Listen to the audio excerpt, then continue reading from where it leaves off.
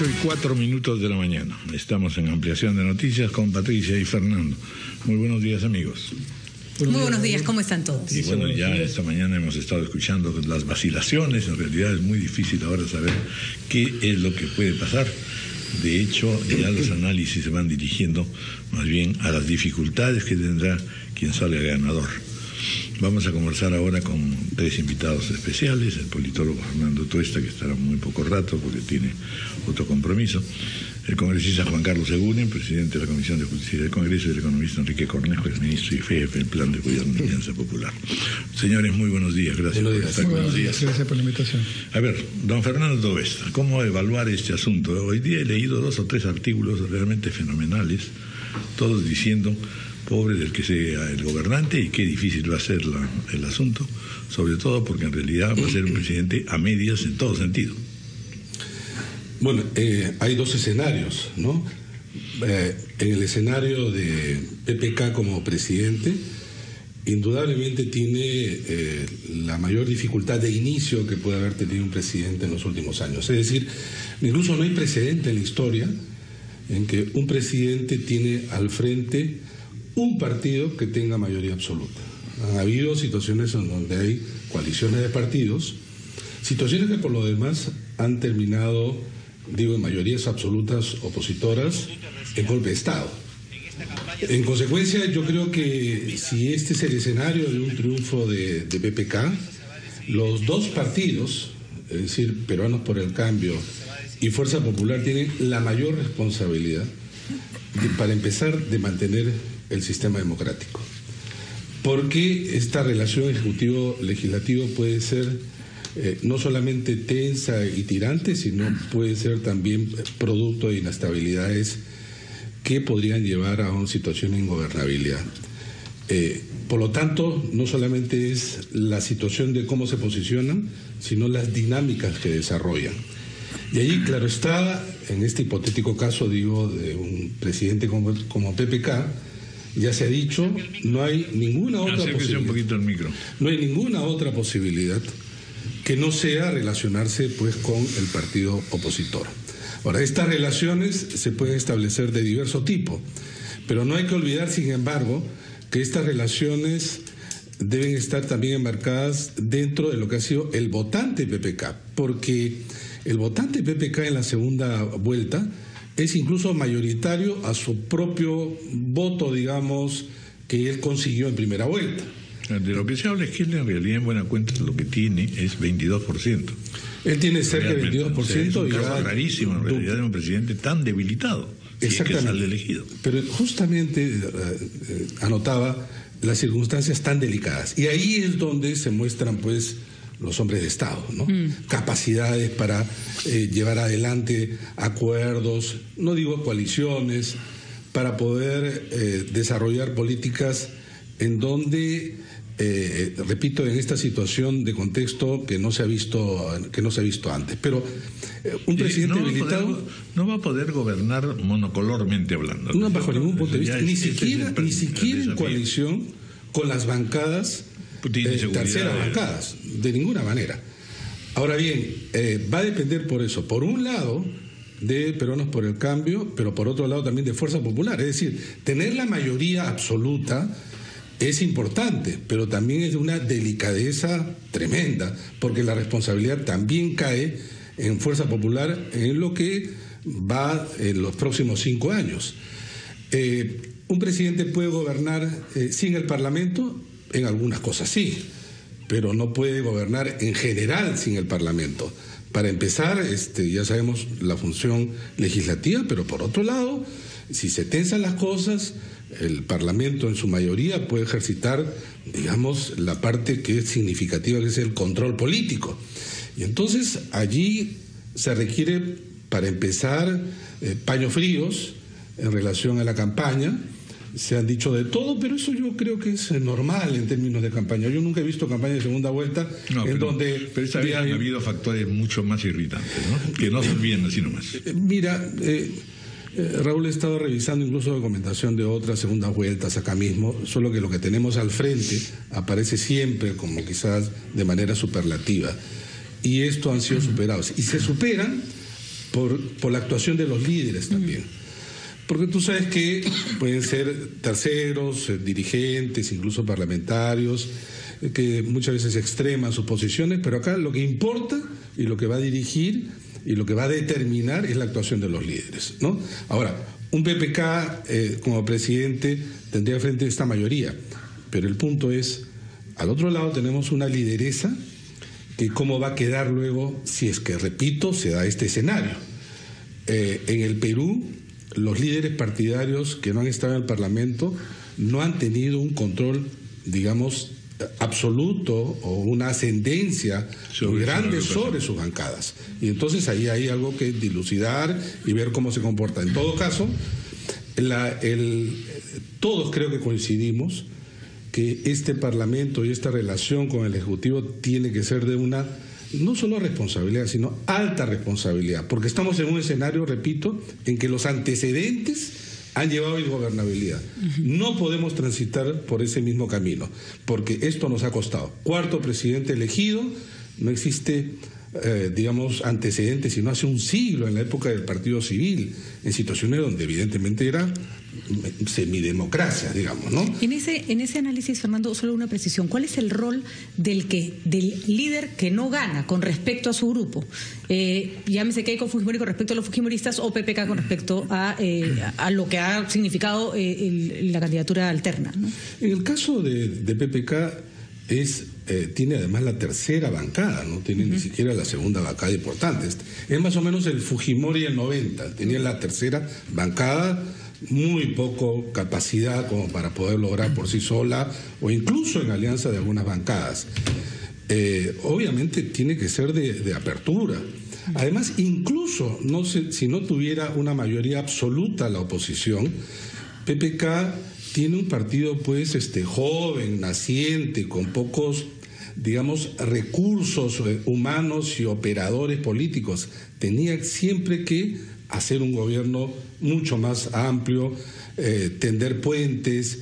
Y en ese sentido, PPK creo que ha demostrado en su vida política que eh, lo, sabe hacer. Claro, este nivel de, encargo y responsabilidad pues es, es mayor todavía, ¿no? Y en el caso de Keiko Fujimori, eh, hemos visto quizá en ella eh, los menos acciones y exabruptos en relación a, los suyos. Entonces yo creo que tenemos ahí dos líderes que sí pueden llevar encuentros más allá de lo que significa una elección, que como repito, en todas las elecciones se dicen cosas, ya el postelectoral es otro tipo, pero lo que hay que cuidar también en este momento es esto lo que estamos viviendo, es decir, todavía no se sabe el resultado.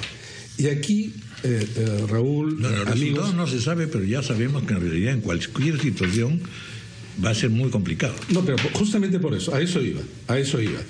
Esto es lo que en América Latina se ha llamado justamente resultados ajustados. Y hay antecedentes. Los antecedentes eh, nos han dado que incluso menos del 1% han habido situaciones como, por ejemplo, en Costa Rica, donde estamos sobre el 0.5, la diferencia terminó, y esto fue respetado por, la, por, por el perdedor. En México, recuerden ustedes de López Obrador, o sea, mantuvo en vilo a México meses.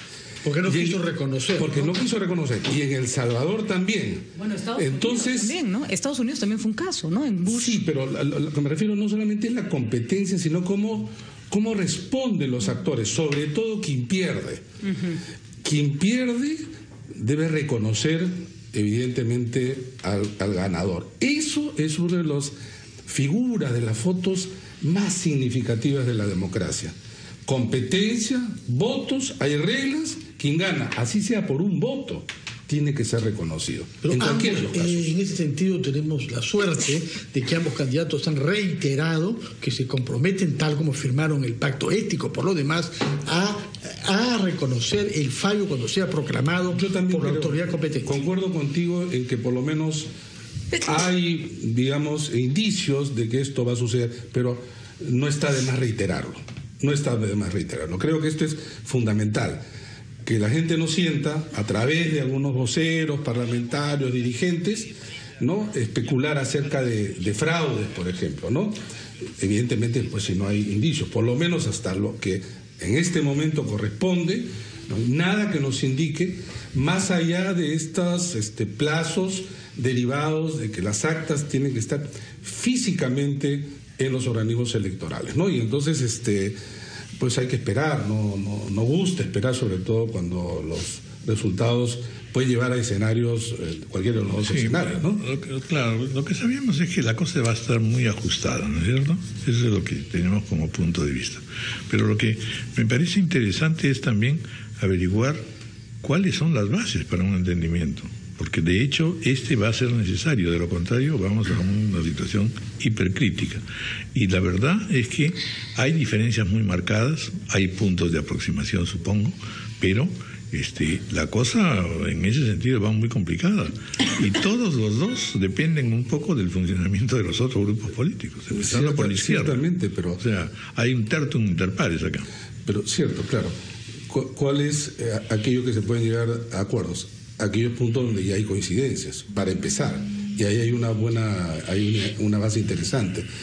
Y claro, preocupa porque en las segundas vueltas, ambos candidatos ofrecieron cosas que no ofrecieron en la primera vuelta, justamente en la dinámica de ganar votos. Establecieron eh, eh, contactos, eh, promesas a sectores diversos. Se va, en muchos de esos casos no se va a poder cumplir. Por supuesto. Y, y como no se va a poder cumplir, viene esto que muchos peruanos sienten, la insatisfacción o la frustración de aquello que es ofrecido no es realizado.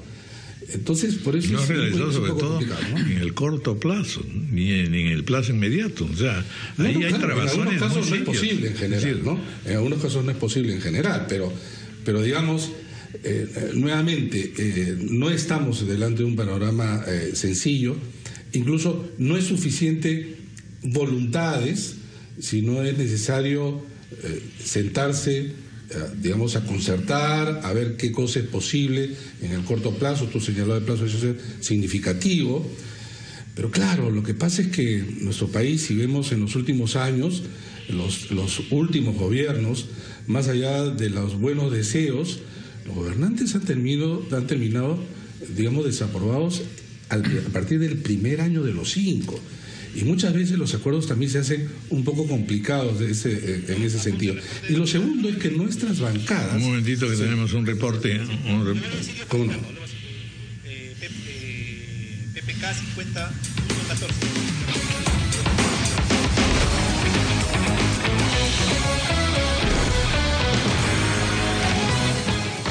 Y Keiko 49.86.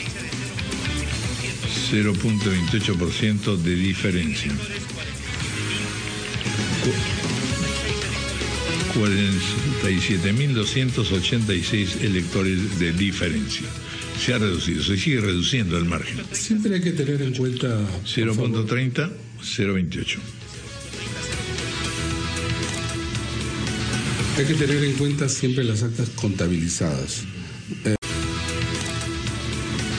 Hay que tener en cuenta siempre las actas contabilizadas, eh, no las procesadas.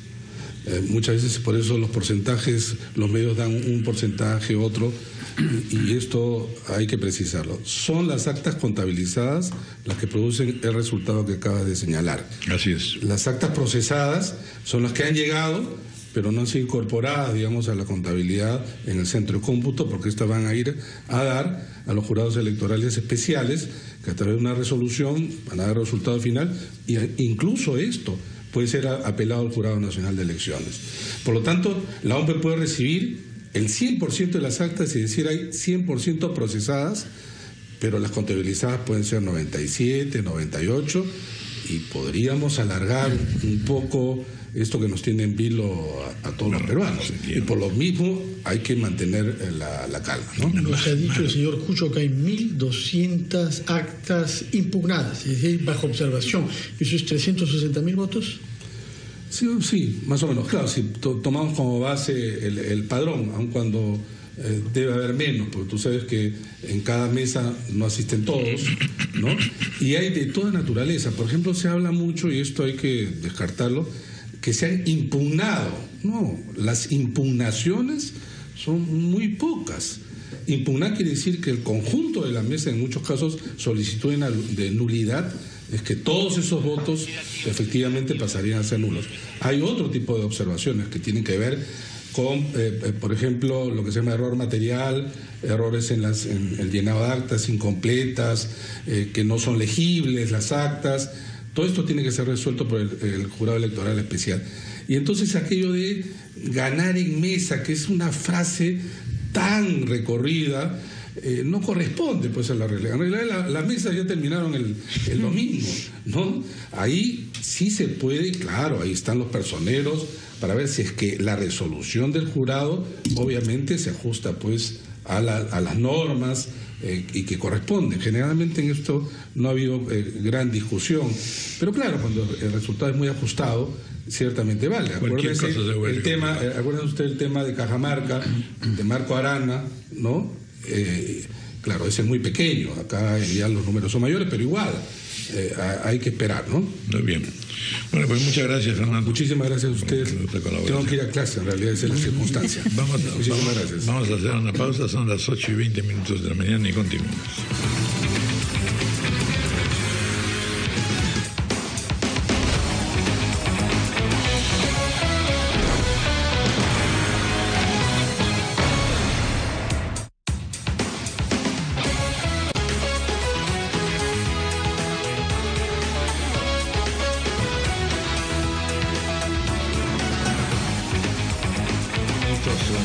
Reflexiones de Fernando Tuesta, pues vamos a conseguir también las opiniones de nuestros invitados. Congresista Juan Carlos Segurín, estamos todos de acuerdo en que la cosa se vuelve muy difícil y complicada, que en realidad no solamente se trata ya de un llamado a la calma, sino sobre todo de preguntas este, que nos lleven a decir exactamente eh, qué viabilidad tiene el gobierno que venga, cualquiera que sea eh, de, estos dos, qué viabilidad tiene y qué riesgos son los que finalmente vamos a tener que vivir cotidianamente los ciudadanos.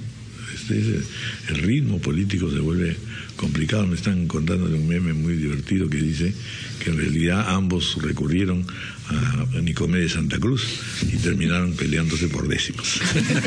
Está buenísimo, buenísimo. Pero qué manera de recordar a Nicomedes. Por lo menos esta campaña ha servido para que nos acordemos del gran Nicomedes. Exactamente. Sí, don, don Raúl, como, como bien has dicho y acabamos de, de escuchar el último reporte, aún no está definido el, el ganador, está muy ajustado, va a ser una llegada de, de- de película, de foto y foto con lupa, que de repente hay que verla hasta el final, cuando eh, se comiencen a resolver las impugnaciones de actas. Está en juego todavía cerca de 800 mil votos y eh, la ventaja que lleva PPK a la fecha está alrededor de 40 y pico mil.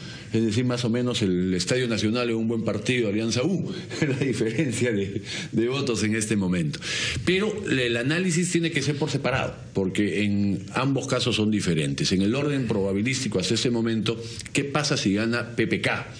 Eh, va a ser un gobierno complicado, en principio, todo depende del arte, del manejo, de la capacidad y de la sumatoria de esfuerzos que todos eh, eh, hagamos para contribuir, pero en principio va a ser un gobierno complicado, un gobierno débil, con 18 parlamentarios, por más que busque algunos co- consensos con el resto de, bancadas, a excepción del, del Fujimorismo, eh, incluyendo Verónica Mendoza, que no sé qué parte de la agenda puedan coincidir, sigue siendo sumamente débil, ¿no?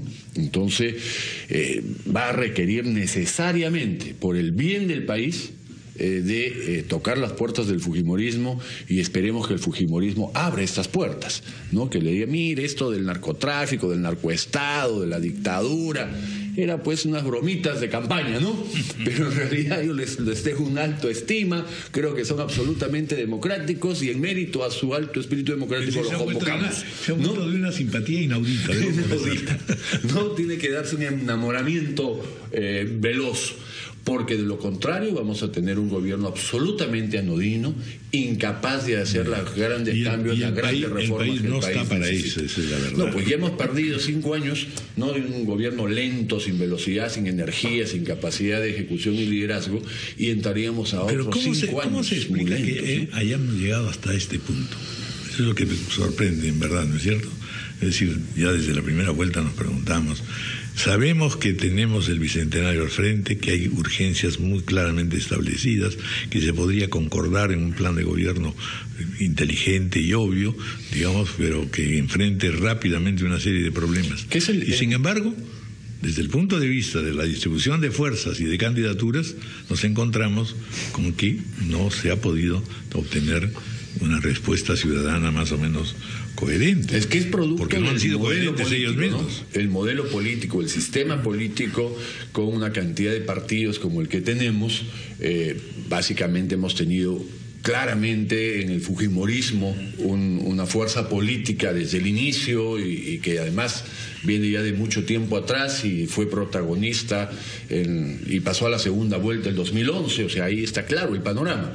Pero en el otro sector, más allá del Fujimorismo, tenemos una serie de pequeños partidos, de aventureros, de oportunistas, hay de todo, es una Ahora- sumatoria de todo, pero como el modelo te lleva que finalmente solo pasan dos, se produce pues eh, eh, las confluencias y PPK pasó con 22% y 15 días antes o, o 20 días antes estaba en 9. Entonces se vino la campaña de miedo con Verónica y, y trepó en realidad con mucho arte, mucha habilidad, mucha suerte también, tal vez, ¿no? Pero llegó a pasar la segunda No, vuelta y probablemente gane. Las razones Pero por las no que- con un impulso propio, no con un bolsón propio, no con una fuerza propia, No, y- sino la sumatoria de todos los miedos contra el Fujimorismo, ¿no? Pero que así son las elecciones en otros países. La razón por Eh, las cuales las personas llegan a segunda vuelta pueden ser las más insólitas.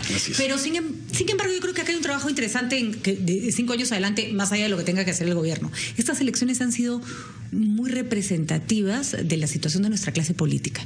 Y el PPC ha pagado demasiado caro, creo, el hecho de llegar con problemas internos a una elección mal estructurada en términos de legislación y y una serie de, de- de temas más. ¿Cuál es la apuesta del PPC en estos cinco años? Porque me imagino que quieren llegar al 2021 eh, mejor preparados.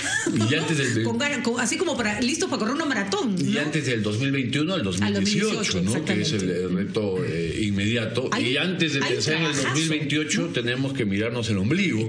¿no? y trabajar hacia adentro. Así Ese es. es el reto de corto plazo. Tienen que y como fuerza un, política super gimnasio en realidad.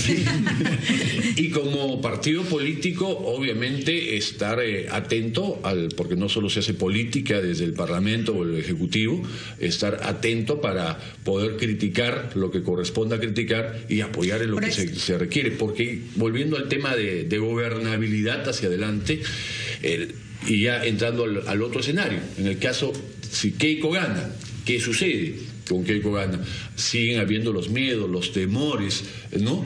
Y va a tener que dar una muestra muy grande de apertura. No digo que PPK no lo tenga que dar, en su caso es indispensable y no hay otra forma. Tiene que a- a- a Bueno, y ser tiene- un gobierno de ancha base, tiene- convocar, tiene que comerse algunas- algunas ¿no? palabras y algunos para darle el difícil. suficiente. Está claro que pase lo que pase, el trabajo del Fujimorismo con respecto del antifujimorismo se tiene que hacer, porque eh, sigue siendo el, el gran techo de Keiko Sigue siendo el miedo, ¿no? O el, sea, el temor, las exacto. dudas, las preocupaciones. Quisiera preguntar al ingeniero Cornejo que haga sin duda llamado a su optimismo, porque usted aspira a ser el dirigente del APRA, creo, y esto significa cinco congresistas, un partido que se ha reducido en los últimos tiempos. Hay casos en que un presidente es elegido muy con las justas. Felipe Calderón en México justamente fue discutido por López Obrador, que supo tomar medidas en los primeros meses y fue respaldado por la calle.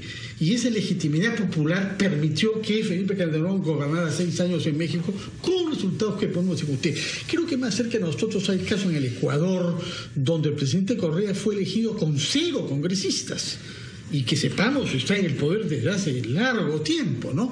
De manera que hay una posibilidad o no de que iniciativas políticas rápidas en los primeros meses den un respaldo popular que faciliten el trabajo de un eventual presidente con poco respaldo parlamentario. Sí, buenos días. Va a ser fundamental que haya iniciativas rápidas. Iniciativas rápidas en materia de demostración de vocación democrática, iniciativas rápidas en temas vinculados a gobernabilidad y a resolver este entrampamiento electoral que nos ha generado esta ley reciente, que es parte del problema. Iniciativas rápidas en seguridad ciudadana y compartida la responsabilidad entre el Ejecutivo y el Legislativo, iniciativas rápidas en materia de re- reactivar el proceso económico para que esta economía, porque nadie ha hablado del gobierno que se va, el, el tema es tan complicado que el gobierno que se va está, digamos, eh, sin aparecer en la escena. Y no ha dicho nada, ¿no? Y deberían haber dicho por lo menos que garantizan la, la transparencia de esta elección, Claro. ¿no? No, no sé. Y algo. sobre todo un proceso de transferencia, que sea un proceso de transferencia que permita que el siguiente gobierno pueda tomar esas Mm. medidas en los primeros días.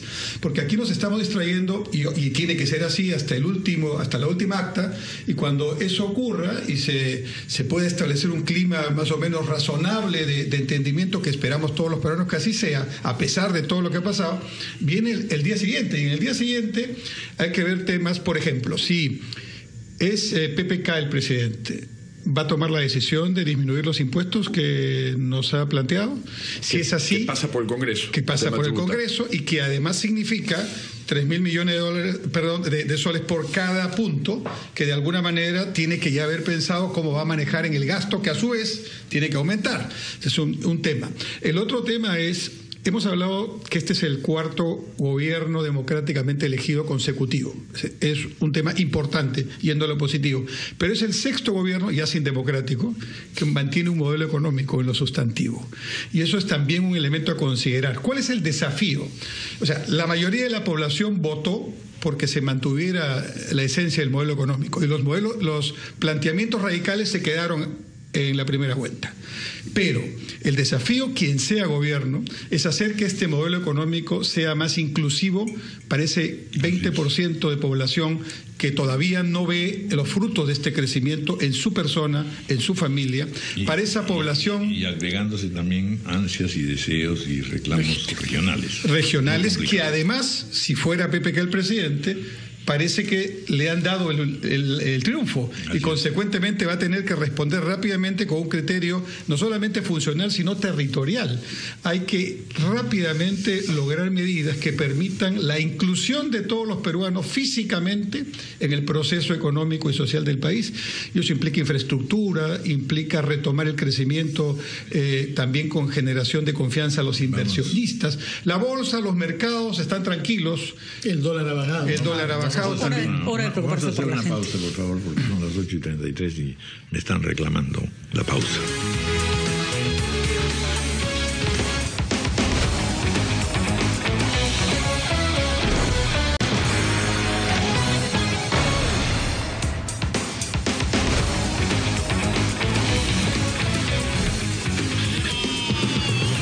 Enrique Cornejo.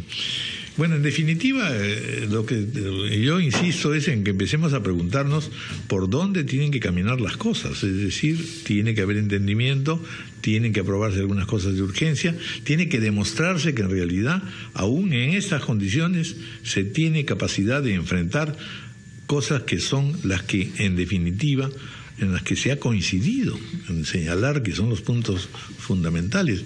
Es decir, si este gobierno se inaugura señalando vamos a ponernos de acuerdo en la lucha contra seguridad ciudadana de inmediato, y lo hacen, y lo hacen de inmediato, inmediatamente se cree un clima distinto. Sí, yo creo que el 28, 29 y 30 de julio van a tener que ser importantes en el diario oficial del peruano, si es que realmente se quieren hacer las cosas eh, de manera eh, sustantiva, Sí, para, atendiendo- para no verse en aprietos a futuro. Normalmente, el 28 de julio salen dos decretos eh, en el peruano. Uno que nombra al, al presidente del Consejo de Ministros y el segundo que nombra al gabinete, y ahí todos nos vamos a la fiesta. ¿No? Escuchamos el mensaje y después eh, empieza ya a vivir de nuevo. comilona, la comilona. comilona, La- claro. la fiesta patria, Sí. la fiesta patria. Yo creo que este 28 y 29, quien sea el gobernante o la gobernante, tienen que pensar en poner sus primeras medidas y tienen que prepararlos en 30 días. Y eso requiere un trabajo fino, ya eh, que al mismo tiempo, esa es la dificultad, suponga eh, algunos acercamientos y dejar a un costado los, eh, las heridas que se han producido, pensando en el país, y eso todo tiene que hacerse en un corto plazo. Ahora, felizmente, voy a decirlo de esta manera, el gobierno que se va, eh, digamos, lo malo del gobierno que se va es que nos ha dejado un país en muchos aspectos, por ejemplo, en de infraestructura, con una lentitud eh, tremenda, exageradamente, digamos, eh, eh, negativa. Proyectos que podrían haber terminado o estar casi a punto de terminar están recién en sus inicios, atrasados por miles de razones. Eso es el problema, pero al mismo tiempo es la oportunidad. El siguiente gobierno, calculo yo, debe tener no menos de 1.700 a 2.000 millones de dólares de proyectos de infraestructura que ya están concesionados, contratados eh, y que de alguna manera lo que requieren es gestión, decisión política y, digamos, ponerle velocidad el, ejemplo más claro es el aeropuerto. ¿no? El aeropuerto pudo haber estado ya con eh, su segunda pista construida y, quizás ya funcionando. El de Lima y el de Cusco. El de Cusco Sí, quizás el Cusco empezando a construirse, pero el de Pisco ya funcionando, todo tiene que ver con gestión. Y yo creo que eh, si eh, es el presidente, tiene un equipo que puede rápidamente ponerse en, en, marcha eh, estos temas y dar sensaciones muy concretas que permitan que la inversión privada retome también la confianza y vuelva a la velocidad, porque también es cierto que tenemos por lo menos dos o tres años de precios internacionales todavía no muy buenos. Y entonces tenemos que hacer el esfuerzo interno doblemente para poder contrarrestar este escenario internacional difícil.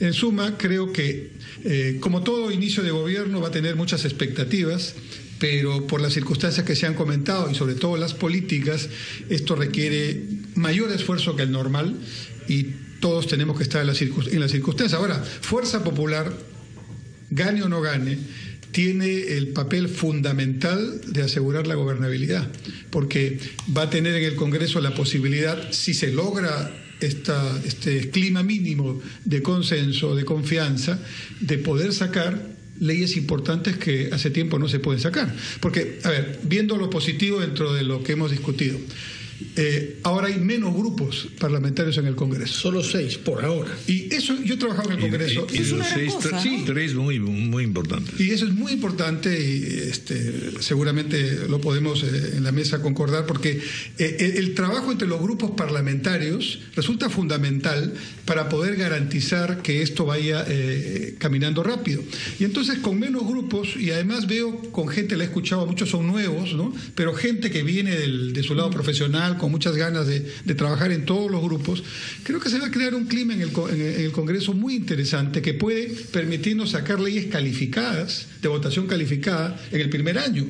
Eh, eh, tal vez algunas reformas constitucionales que permitan ya en el primer año o entre el primer y segundo año hacer algunos cambios sustantivos. Entonces eso puede ser. Un nuevo código penal para darle también satisfacción al congresista Buren que ha hecho tanto por eso. Una nueva, una nueva este, legislación electoral. Y ahora, claro, vienen temas que son complicados. Y aquí hay una prueba para el Fujimorismo, porque, por ejemplo, voto preferencial. Queremos fortalecer a los partidos y fortalecer la institucionalidad.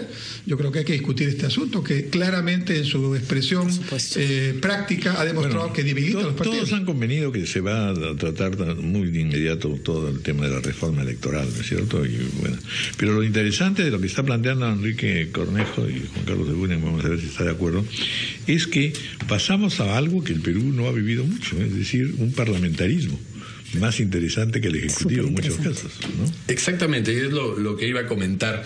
Eh, hay dos modelos en principio, el, modelo presidencialista y el modelo parlamentarista, dependiendo dónde están los principales pesos eh, del poder político.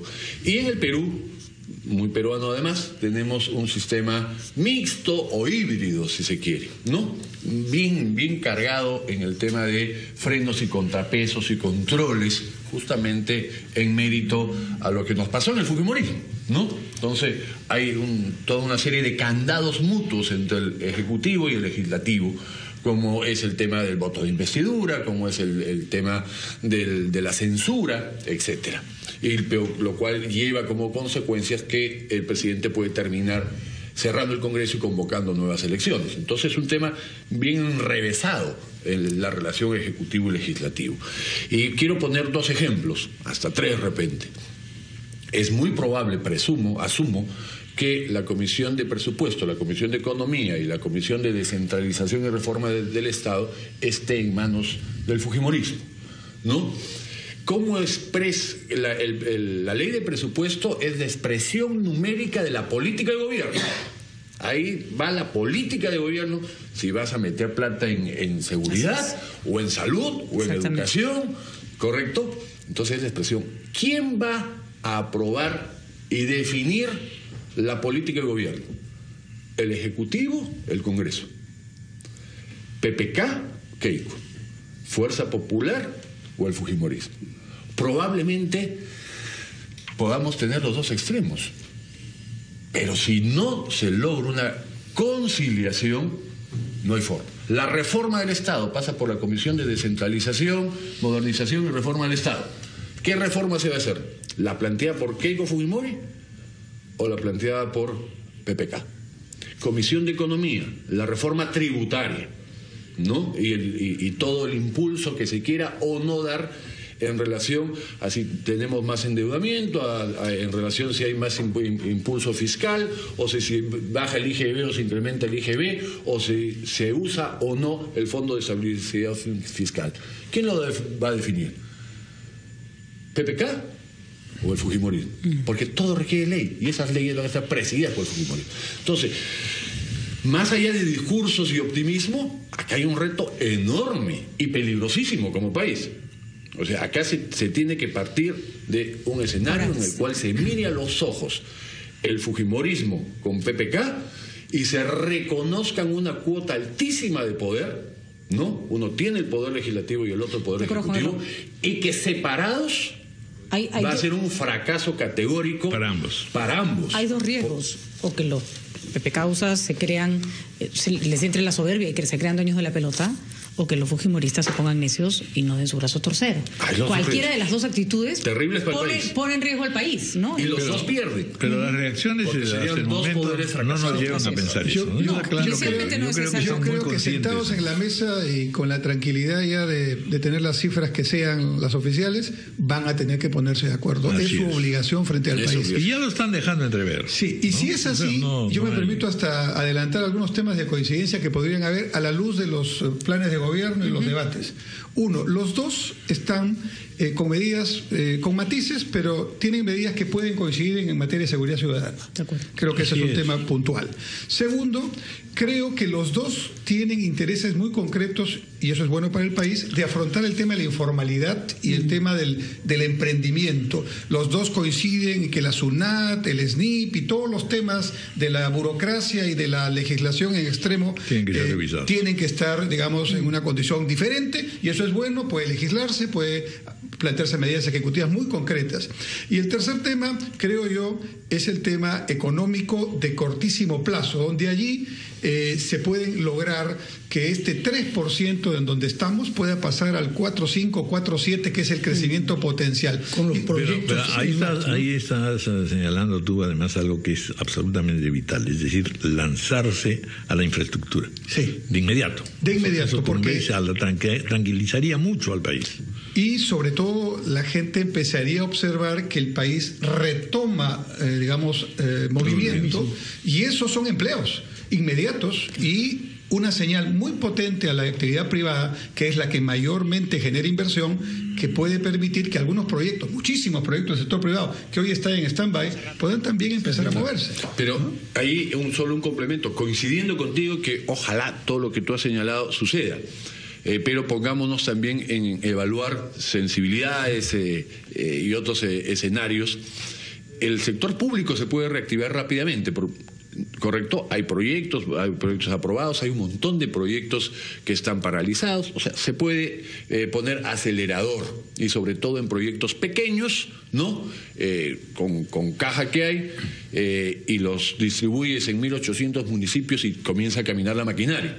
Más allá de los proyectos de mediano y largo plazo que son más grandes y demoran más en prender esos motores, pero sí puedes reactivar rápidamente Por ejemplo, a en través esos, de, en esos de temas, descentralización agua y fiscal. saneamiento es un tema que coinciden los dos. Los dos. Entonces ahí es- pero, es ¿qué, pero ¿qué me preocupa? Me preocupa algo. el favor. Usted 80%. di- dijo que todo era materia de ley, citó eh, varios ejemplos. No todo, pero los hay temas la relevantes. pues. constitucional de que el nuevo gobierno, a través de su primer ministro, pida facultades legislativas para gobernar por decreto. Ustedes concedieron facultades de ese tipo en el primer ministro Cateriano en su peor momento. ¿Sería o no posible que PPK recurra a esta, digamos, disposición constitucional y, y pidan al país que se le concede en el Parlamento no, voto. No solo es posible, sino yo, yo apostaría al 100% que lo porque ya además es una tradición del sistema democrático y es casi una obligación moral del Congreso otorgarlas. no, recuerdo ningún caso